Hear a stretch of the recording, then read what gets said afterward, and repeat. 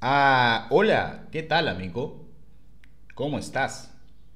Soy Iron Man. Dime, ¿quién eres tú?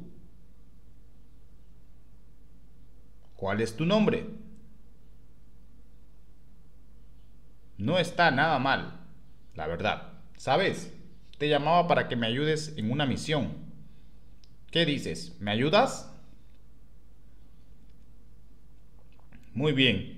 Entonces, respóndeme bien a esta pregunta.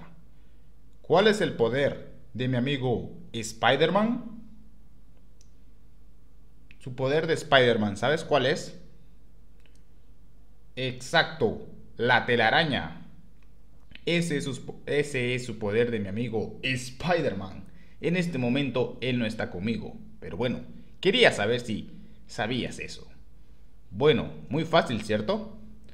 Te llamaré en otra. Cuídate, guarda mi número. Adiós.